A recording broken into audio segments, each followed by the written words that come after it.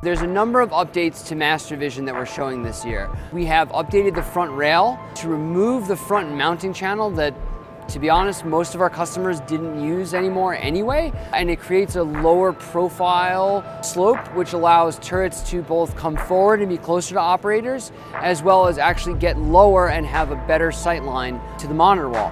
Additionally, we've changed the way that we do our rack mount inserts and our CPU platforms. One of the challenges with our CPU platforms and rack mount cages was that because they required hardware to hold them in place, they were a little bit clunky and cumbersome to work with, trying to take them in and out once they had been loaded with gear.